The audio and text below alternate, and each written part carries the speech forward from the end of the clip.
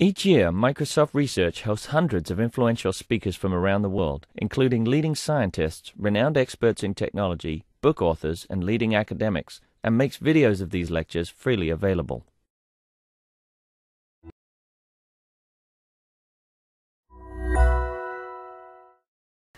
Um, our next speaker is uh, Dr. Jeannette Wing. Uh, Dr. Jeannette Wing is the corporate vice president and she oversees the labs um, of core research labs across the world for Microsoft Research Corporation. Prior to this, um, Dr. Wing was at Carnegie Mellon University and also she was director of one of the divisions of National Science Foundation. Her areas of expertise are in trustworthy computing, formal methods, concurrent and distributed systems, programming languages, and software engineering. She's also part of various committees and boards. Uh, she's current vice chair of uh, DARPA Information Science Technology, and she's also part of the President's Council Advisor of Science and Technology in the US. I welcome Dr. J Jeannette Wing to come and speak. Thanks. Good afternoon. Oh, good response.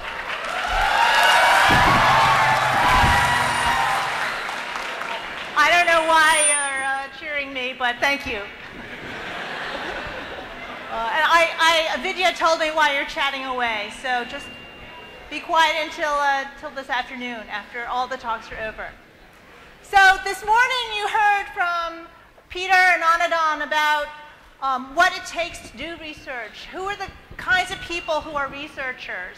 Um, and you heard a little bit from Han about what do researchers work on, what kinds of problems do they work on. What I want to talk about is not just research in the general, but research in computer science. And I want to talk about also some stories about um, what kinds of research computer scientists work on, but I also want to talk about the impact of the research that that they do and why that might choose a particular problem to work on or what motivates them in the first place. So I'm going to talk about computer science research. I'm going to talk about computer science research's impact on science, technology, and society. I'd like to first start with this triad of science, technology, and society and talk about the drivers of computing. I use this term drivers of computing to indicate if I'm a researcher in computer science and I'm trying to figure out um, what problem to work on, I might look at fundamental questions of computer science, science questions of computer science. For instance, what is computable? What can a machine compute? What can a machine not compute? What problems can machines solve? What problems can machines not solve? So there might be, there are deep science questions in our field in computer science that drive researchers to pursue their research goals, to pursue the problems they work on. People like Ravi Kannan you heard about earlier today. Another area of, um, that drives the kind of research problems computer scientists choose is, of course, technology. Technology advances expeditiously and exponentially. Um, and every time there's a new technology, it re-raises the old questions of the past in computer science.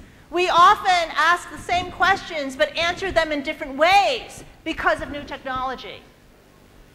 And finally, something that's much more prevalent today than in, when I started as a computer scientist is societal grand challenges. People today, people like yourselves, people like Bill Thies, who you'll hear from later this afternoon, you um, try to address larger grand challenges of society, like healthcare and energy and the environment. And those Societal grand challenges drive the kind of questions that computer scientists ask. Thinking maybe in advances in computer science or maybe in advances in computing technology, we can help address these societal grand challenges. We can help potentially transform the very nature of healthcare. And so these are the kinds of drivers of computing. These are the um, the, the ways in which a computer science researcher might think of what problem to work on. And once you choose a problem and you're persistent and you're, uh, you discover and you create and so on, just as was discussed this morning, what you hope in the end is to have an impact on, the, on either science or technology or society or all three of them through the results that you attain in conducting research. So, of course, if you are a theoretical computer scientist, you might pursue a, a theoretical problem for the sake of just pursuing the problem. But you never know that the solution to that problem might have, in, a, in 10 or 20 years, an impact on a new technology or an impact on a way that some other sector like healthcare um, can be affected. So I'm going to talk about um, research impact along the lines of science, technology, and society, and I'm going to use this triad to tell my stories. But I, what I really want to close my talk with is not so much what we've done and some of the stories uh, showing what kind of research Microsoft researchers have done, but I want to use this triad to talk about what's coming. What you in the audience will be working on as researchers in computer science. So I want to talk about the future of computing along these three axes. So before I begin, I do want to share with you um, the mission of Microsoft Research. This is something Anandan alluded to earlier this morning. This is the mission statement that all of us at Microsoft Research uh, ascribe to. And the first one you'll notice is really very basic. It's advance the field in the areas we choose to do research. It's advancing state of the art. Oh. Should I start again? it's advancing to the state of the art. The second uh, mission is to transfer best, our best research into Microsoft's products. And the third is to ensure the future of Microsoft and of the computing and related disciplines. And I'm not going to belabor the, the mission statement of Microsoft Research um, too much. I just wanted to share with you them, especially since Anandan uh, showed how they were specified or uh, tailored for Microsoft Research India. This is Microsoft's Research Global Presence. You'll see that we have labs around the world. Um, and this is my triad with the mission statement overlaid. Um, you'll every researcher in Microsoft Research um, is either advancing science or adva uh, advancing technology or addressing a societal grand challenge or all three. So now let me actually start with a few stories. And I'm going to tell a science story, a technology story, uh, a societal, a society story, and then one last story that wraps it up. And then I'm going to uh, uh, talk about where I see the trends of computer science being. The, these are going to be the opportunities for all of you as future researchers in computer science to be thinking about where your research problem is going to come from. So the science story I want to start with is uh, a, a, a, story that comes from some work at, uh, done by Microsoft researcher uh, Nikhil Srivastava and two colleagues at Yale University and it's a story of computer science meets quantum mechanics. The problem that they were addressing is is it possible to take a set of small vectors who in, whose energy in every test direction is equal to 1 and partition this set of small vectors into a red, into a red-blue partition in such a way that the energy um, comes, half the energy comes from the red vectors, and half the energy comes from the blue. So it's called splitting a quadratic form in half. And before I actually state the theorem of what they prove, I want to give you a little background of what I just said in terms of test vectors and energy and so on. So consider these four vectors in two-dimensional space. And in the test vector direction, the test direction along the x-axis, We can then compute the energy of these four vectors um, by just uh, calculating um, how much energy each individual vector um, contributes along the, the, test direction. So this uh, set of four vectors has some ener of energy you can compute to 1.5. And I can consider a different test direction along the y-axis, and you'll see the energy is greater intuitively because three of the vectors are pointing upwards, more towards the y-axis. And you can do this at every test direction to compute the energy of these four vectors in every test direction. And what you can do then is basically draw an ellipsoid around the test vectors. This ellipsoid in each test direction basically tells you what the direction, what the energy is in that direction. So this is just a, a, an algebraic structure. It's called a quadratic form. Um, and what's, so the ellipsoid is the quadratic form. So now I can state the, the theorem that was proved, and that is um, given a set of sufficiently small vectors whose energies in each test direction is equal to 1, um, I, is it, I, can, I can always find a partition of this set of uh, small vectors into two parts, the red and the blue, um, such that um, each part basically contributes half uh, energy, half of its energy to um, the original set of, uh, of, vectors.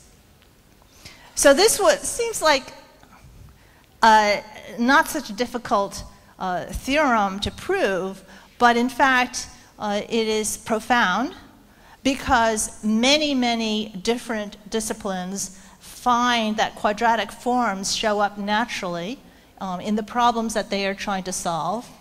And also, it turns out that this theorem implies an outstanding conjecture since 1959 that was stated in quantum mechanics. And so clearly it was not an easy uh, theorem to prove. And this theorem was proved uh, last June. It was truly a breakthrough result uh, in mathematics. So the, um, I mentioned already that there are other quadratic, there are quadratic forms that are found in other disciplines, for instance, in computer science. And it was actually in understanding this particular computer science problem that the computer scientist Nikhil and his colleagues were, were struggling with and stumbled upon the generalization which led to the theorem that they stated and proved.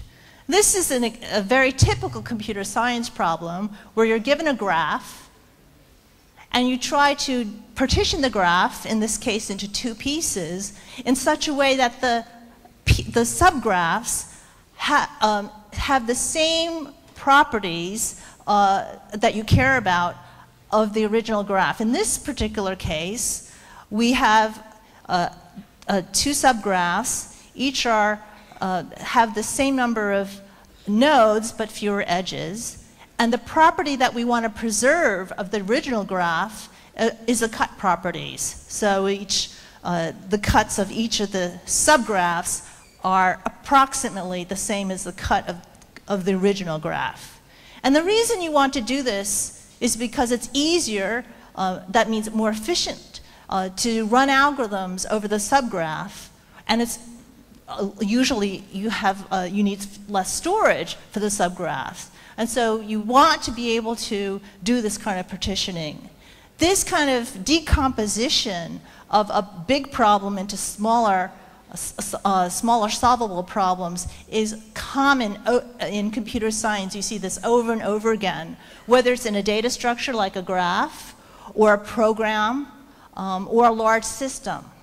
And so it's very, uh, a very common technique in computer science to decompose a large problem into smaller problems, to solve the smaller problems, knowing that you either can solve the smaller problems to imply that the solution of the larger problem or put together the solutions of the smaller problem uh, problems and then get the answer for the larger problem. So this is a very common technique of decomposing a, a, a large problem into smaller ones. Quadratic forms are also um, found in uh, understanding signal processing. If you substitute the uh, coefficients from discrete Fourier transforms, the, you basically get vectors um, as in the quadratic form case. And this hints at the uncertainty principle that's found in signal processing, which basically says you can't localize a signal in both the time and frequency domains. But as I mentioned, this theorem Im implies the Kadison-Singer conjecture, which was outstanding since 1959. And what was interesting about this part of the story is that the physicists and the mathematicians who have been trying to prove this conjecture thought that it was false. And so for since 1959, many, many decades of researchers, physicists, mathematicians, were actually trying to prove this theorem was false, or the conjecture was false. And it's no wonder they, they struggled, because in fact, it's true. So, that's my science story. I want to move to a technology story. And this is the problem of video stabilization. So here we have a, a, a, video that you can see is pretty shaky. These kinds of videos you often take with your smartphone that has maybe a, a video camera on it. What we are able to do in our research is to stabilize that kind of video and see a much smoother version of what we just shot. So I'm going to tell you uh, two tricks that we used in order to affect this. Um, first, let me start with the standard video stabilization pipeline. You start with a, a, a video that has many frames, and what you first try to do is compute a uh, camera path from frame to frame. And so that's what's done in this first step.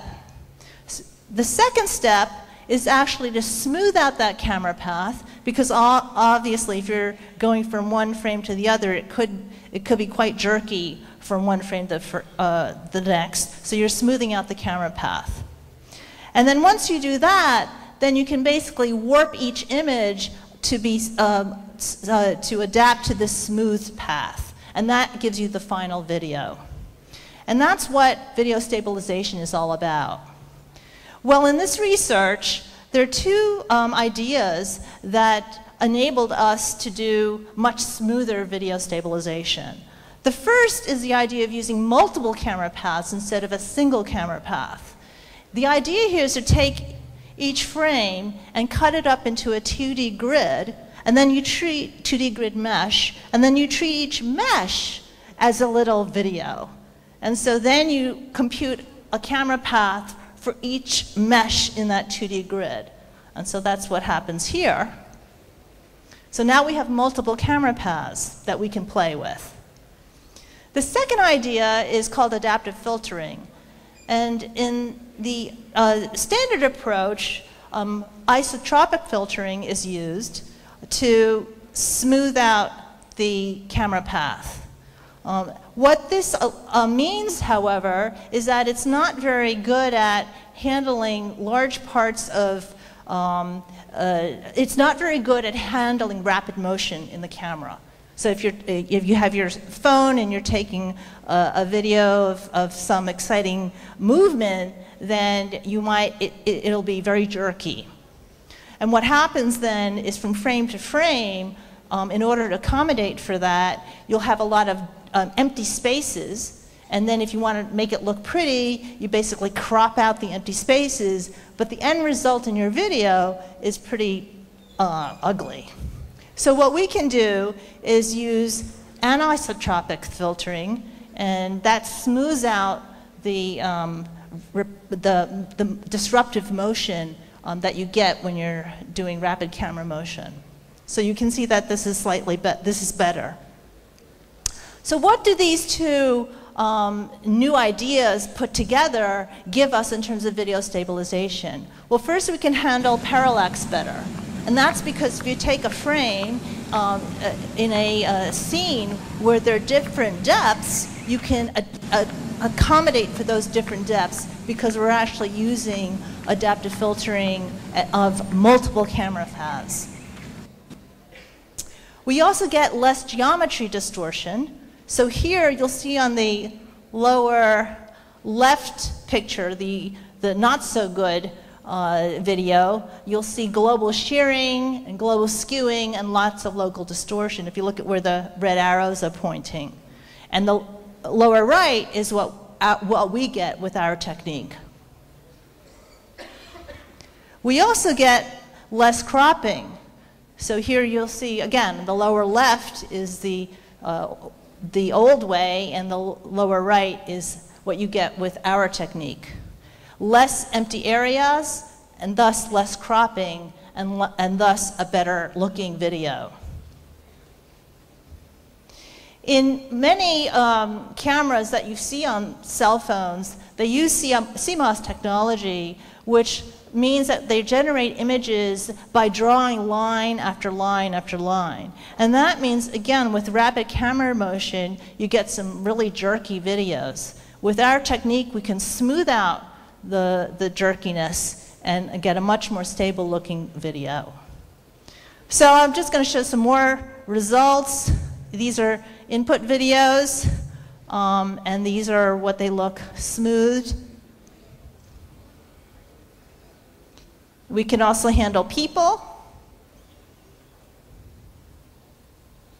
And here is what it looks smoothed out.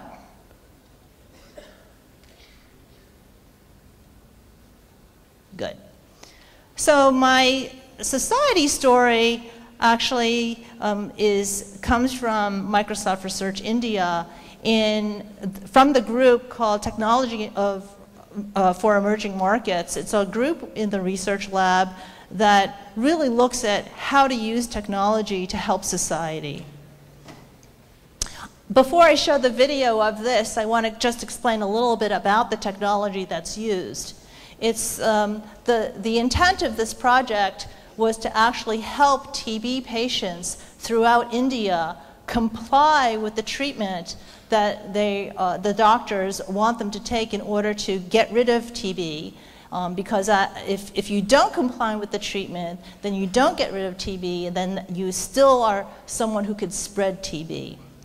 And so the technology is basically a biometrics terminal, and the idea is that uh, someone who's a patient goes to a clinic where there's such a terminal set up, and you use your finger on this biometric reader to show that you are who you are and that then you are given the uh, medication and you, you are taking the medication in front of a healthcare worker so that the healthcare worker can show that you are complying with that particular treatment. And of course, um, there's a, a database stored somewhere that keeps track of the fact that you've taken this treatment over the course of months. And so if at any time you miss a treatment, then someone can be alerted to make sure that you come back and, and, and so on. So I'm just going to pl uh, play the uh, video.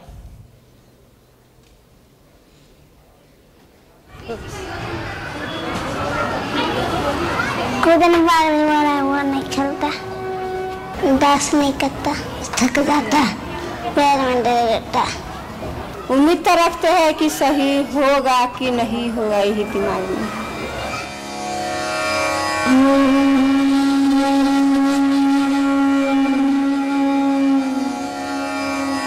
countries with great migration or transit of populations, you will find a greater proportion of tuberculosis happening.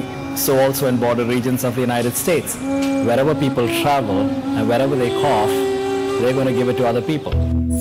Of the 9 to 10 million people that contract tuberculosis annually every year around the globe, which about 2 million happen in India. Of these, a quarter million or so die. 50 million people in the world are infected by the bacteria causing multi-drug resistant TB. Unbelievable but true. For somebody who is poor, drug resistant tuberculosis definitely becomes a death sentence. this represents the threat of really a pandemic because drug-resistant TB is also contagious.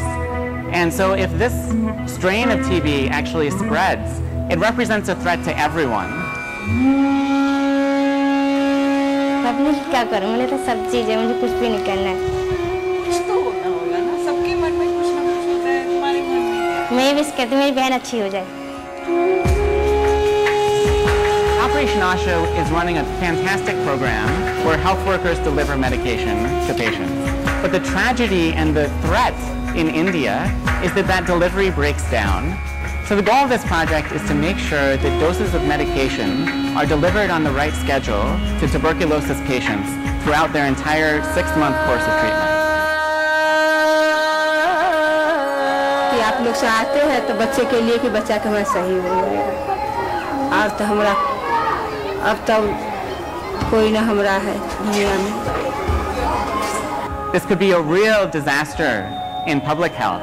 So it's everyone's business to understand and combat tuberculosis.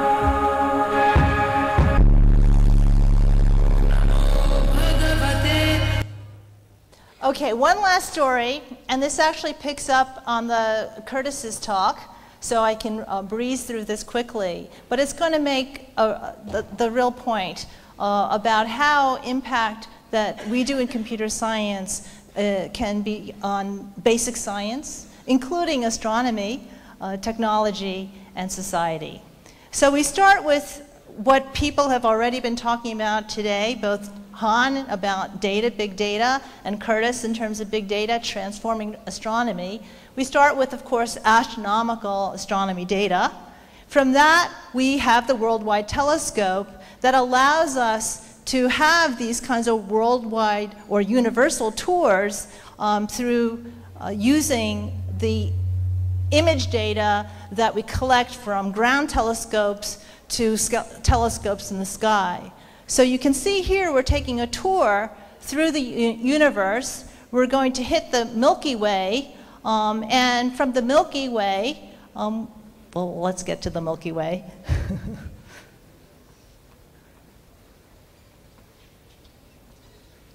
I'll uh, cut this. I'll cut this short because you've already seen a lot of Curtis's videos.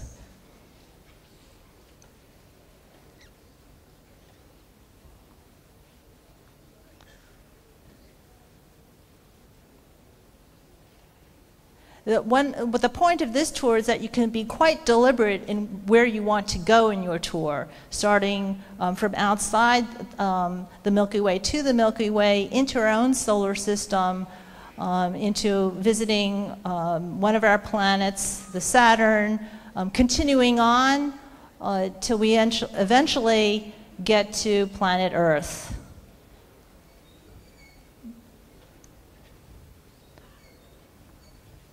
Okay.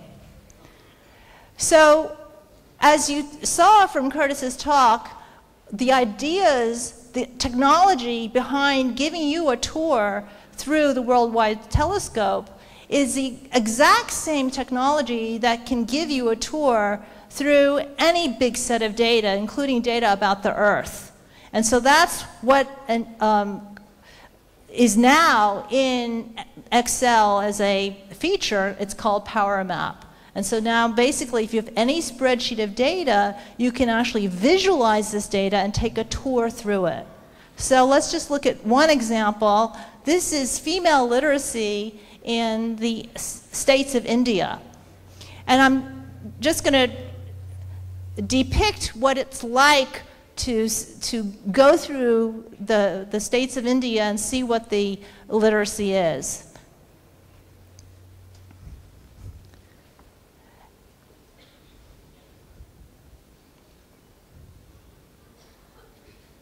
And you'll see that in each of the five largest states, the female literacy is um, above average uh, compared to um, literacy of men and women put together, except for one of the states. Now, why am I showing you this? The reason I'm showing you this is that people talk about big data, but it's not just having big data, it's extracting knowledge from that data, for instance, as depicted uh, through these visualizations, But then it's about making intelligent decisions from that knowledge. So it's not really enough to just show you this data about female literacy in the five populous states of India. You could imagine a policymaker or decision maker saying, well, why is the female literacy in this particular state less than the average? Or what about the other states? Um, or basically making some kind of government policy about education for uh, men and women in India. So another example of that is uh, traffic accidents in Seattle. And here's just a fly through.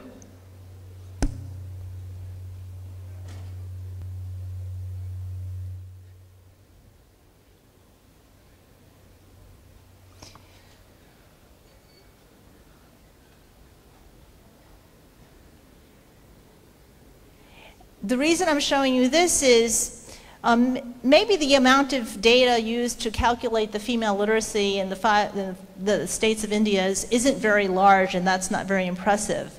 But the amount of data in terms of traffic accidents in Seattle is much greater. And so you can actually use visualiza visualization to better see the differences of which intersections, for instance, could better use a stop light or a stop sign. And so well, again, the point is from data to knowledge to, decision. And you can imagine the police force of Seattle or the traffic um, or, uh, Department of Seattle looking at this data and saying, you know, those two spikes we saw, well, maybe we should actually um, uh, uh, put a stop sign or a stop light in those uh, highly traffic accident or prone, accident prone intersections. So obviously, one of the reasons I wanted to, to, tell you this story is that from astronomy to Excel to policymaking, it really speaks to how research might start out as blue sky research, as Peter talked about, blue sky research in astronomy and, and science, leading to a new feature in our own technology at Microsoft in Excel. But in the end, it's not so much just about advancing science or just about a new feature in, in, a, in our technology. It's really about helping society. It's about, for instance, decision making, uh, policy making, based on, for, in this particular case, the visualization of big data. Okay, in the remaining time I have, as I promised, I really wanted to talk about the future. I wanted to talk about the future because you are our future. Um, you are going to be the, the future researchers in computer science who are going to be choosing problems, solving problems, um, advancing science, creating new technology, and helping the world. And so very briefly, I'm, gonna, I'm going to uh, talk about some, the deep science questions that continue to drive our field, um, not dwell on these too much, but talk about uh, technology trends that uh, help drive the kinds of research questions computer scientists ask. And then some of the societal grand challenges that many computer scientists today are addressing.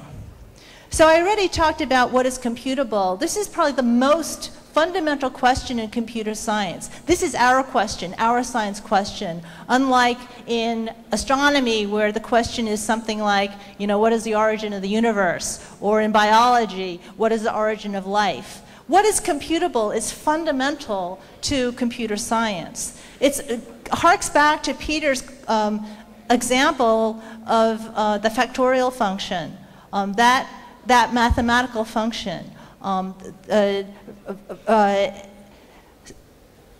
the second question I wanted to raise was the outstanding P equals NP question. This is probably the mathematical question that underlies our field, and we don't know the answer to this. So this is something that uh, uh, theoretical computer scientists try to address. The question of what is information is shared actually by many dif dif dif different disciplines. Biology now, for instance, considers itself an information science. Um, if you think about quantum information science, that really means there's a branch of physics that thinks of it uh, in terms of uh, information, where information may not be represented just in terms of bits, but qubits. The question of what is intelligent intelligence is an outstanding question for the field of computer science. It started the whole field of artificial intelligence um, back in the 60s, which branched then into separate questions uh, in terms of vision and speech and natural language processing and manipulation.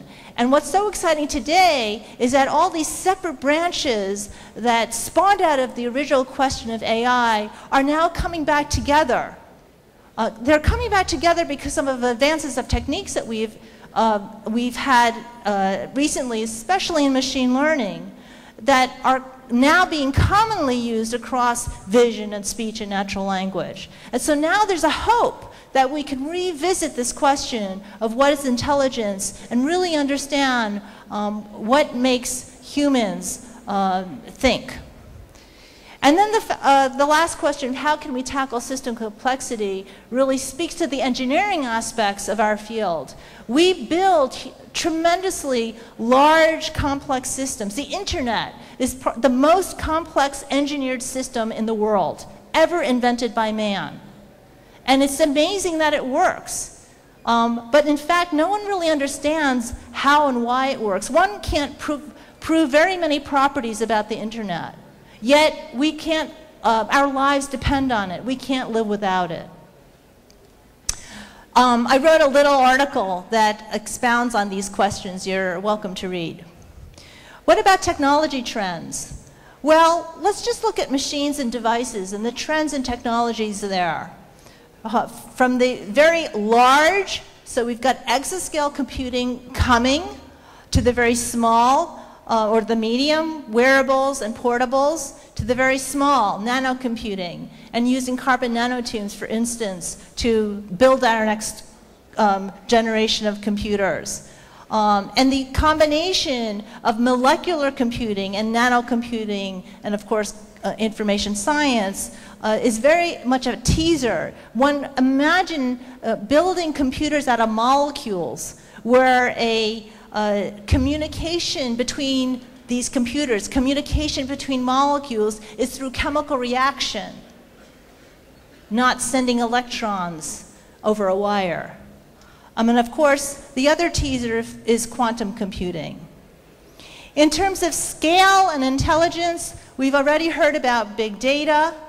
Um, we know that the combination of cell plus cloud will give us the scale at the cell level in terms of billions of end users to the cloud of a storage capacity that will hold you know, information from everyone and everything uh, to the uh, billions of devices that are going to be sensors uh, uh, of the physical world, also data streams into the cloud for that. And then the, the, what you get from storing all this data in the cloud is the ability to share data across different applications and uh, um, to discover new knowledge based on data perhaps accumulated for one reason um, but analyzed for a different reason. Um, the, there's an area called cyber physical systems, which is where you have a a, a, physical, where you have a, a, um, a device that has a computational core that interacts, who, which interacts with the physical environment. So an embedded medical device is one example. Robots will be here. Uh, they will be in your home, they will be in your office, they will be um, uh, at work, at play, they'll come in different sizes, they'll move, um, they'll manipulate, they'll do all sorts of wonderful things to improve our lives. Uh, neuroscience is a, a, very hot area now in computer science, partly to understand what is intelligence, partly to understand the brain, and if we can use the metaphor of the brain to understand techniques like deep learning, which Peter talked about this morning. Uh, the computer of today is not just the devices that we use, our, our, our phone or our laptops and so on. The computer of today is a network of humans and machines working together. the idea of crowdsourcing is just a simple a, a version of a network of humans and computers working together. Crowdsourcing, of course, gives us the scale to solve problems with multiple people. Um, but more importantly, it taps into the human intelligence of the individuals in this network of humans and computers. So the idea here is to combine the intelligence of machines, what machines are good at, with the intelligence of humans, what humans are good at. And the combination of human and machine intelligence gives us more than either alone. And finally, society. Um, the societal trends are in high expectations of our technology, in diversity of users, in personalization, and in addressing societal grand challenges energy, food, water, healthcare, education, transportation, and security and safety. So I'll stop here and just remind you of this triad of the drivers and impact of research in computer science uh, science, technology, and society. Thank you.